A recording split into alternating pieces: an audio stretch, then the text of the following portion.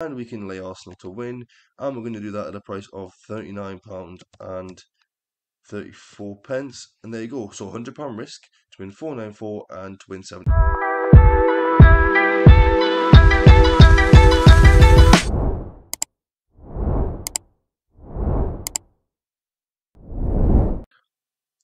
I get asked quite a lot how I basically find edge in the markets and essentially ask if I stake according to my edge, and I do. And today I'm going to show you exactly how to do that rather than just putting on a certain amount every single game. This is how I do it. Doesn't mean that it's correct, but this is normally how I would do it. So this is another copy of the run spreadsheet that I made. This is my own copy. Um, it's basically exactly the same as the one we made. Let me show you now. So if I set this up to be let's just go for England for the purpose because there is a game tonight. I'm just gonna um, update that in there.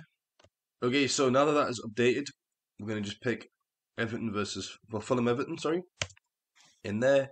And what you'll see is that it'll update itself, as you can see here, um, in terms of the predicted odds and everything in here. But the only thing that hasn't changed is our actual odds need updating. And there's a very, very easy way that we're going to just do this. Obviously, we're just going to go to the Betfair.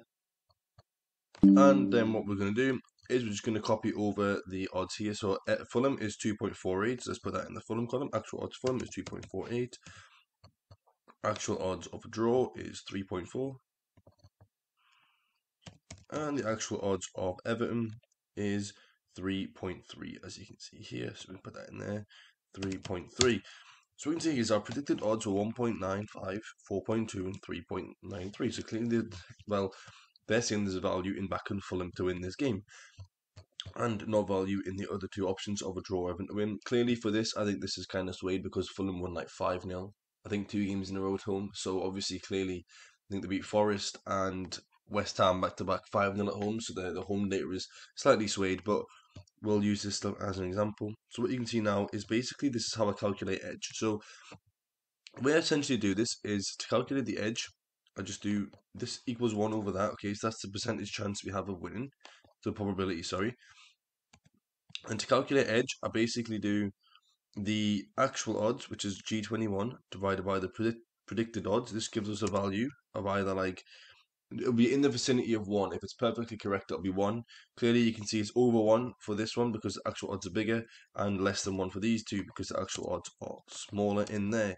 Then what I do, essentially is then I basically say if the edge, so if the edge is greater than 1, then I take 1 away from it.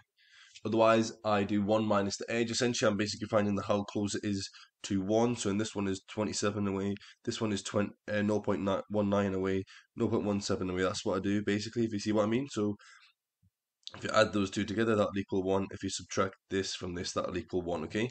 Then what I do is essentially then I add all these up at the end here. So this is the sum of them, those three.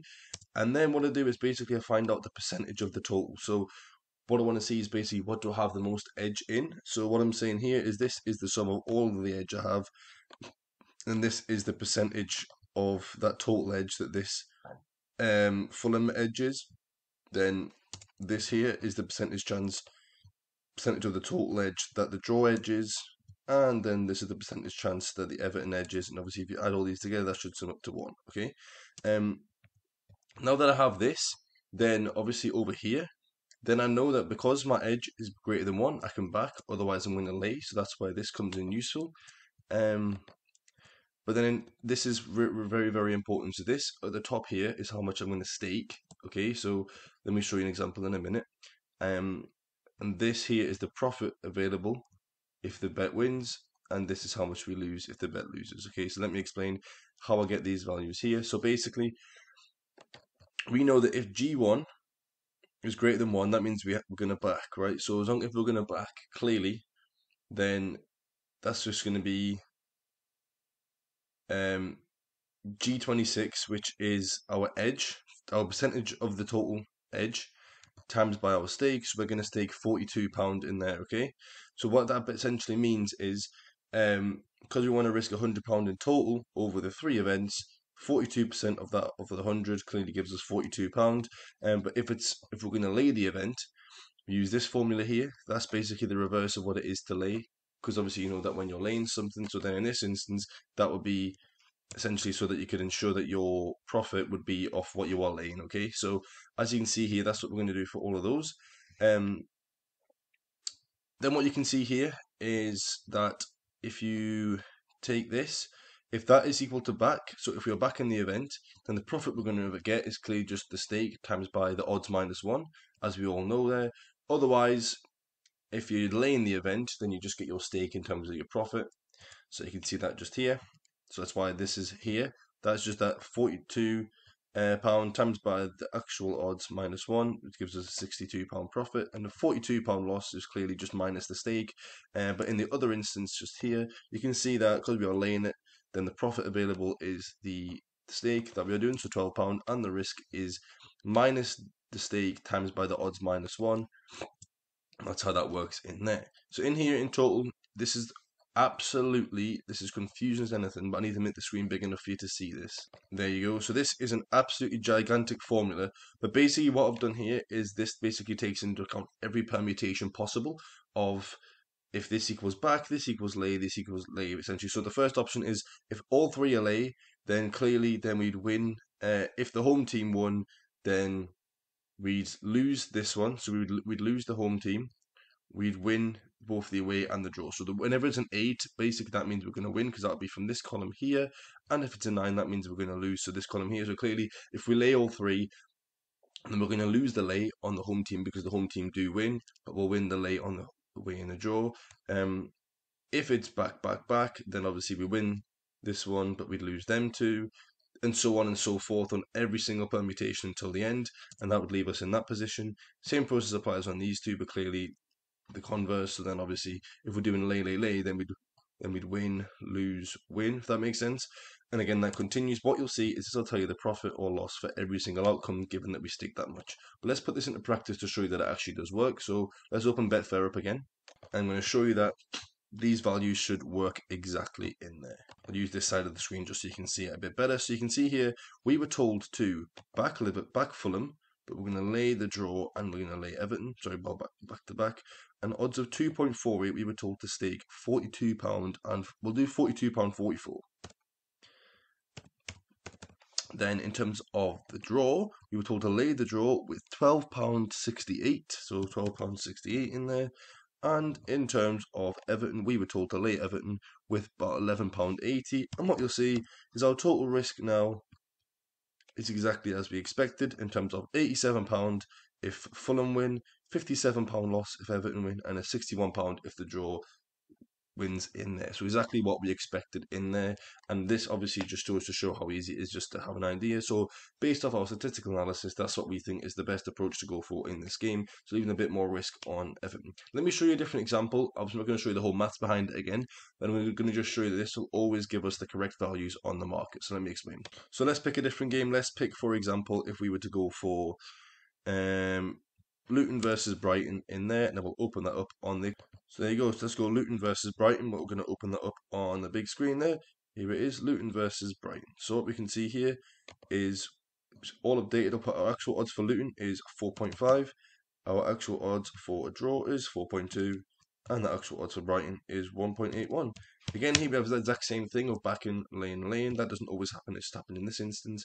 But you can see here we are told to back lay and lay back with £58 and 41 pence, so £58 41. We are told to lay Brighton with £24 and 84.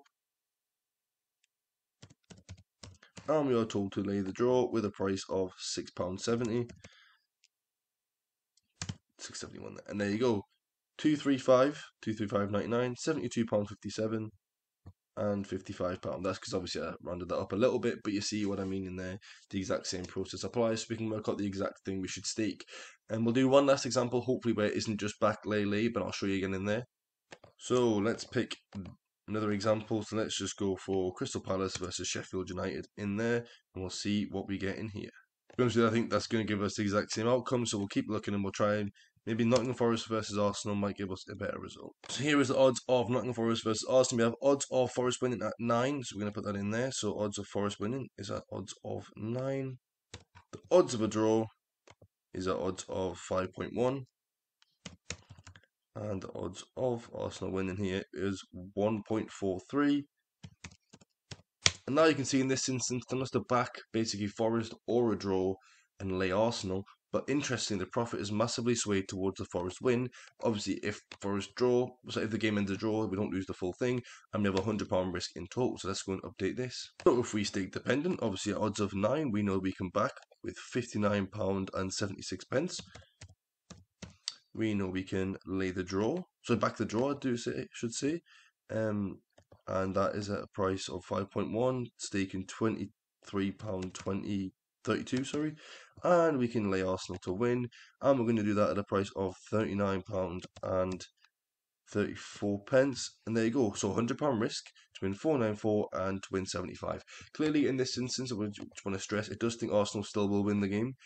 At odds of 1.73 there's at a 57.4% chance of them winning the game. It just means in terms of value, there's more value in backing Forest or a draw to win this game than there is in backing Arsenal, and that's how the profit would, would swing if the game came in in this manner. Hope this explains uh, how to do it. Obviously, in terms of this, this code is very very complex, so um, I don't know if you want to just copy it off the screen. If I make it full screen, I'll leave it on the screen for two minutes. So what I'll do is I'll leave this on the screen just for a minute. You can just pause at any point if you want to, just to take a screenshot of it. I'll go back up there and I'll go down there you go. And you want, if you want to just copy it again, I'll just pause the video at any point. And finally in there as well.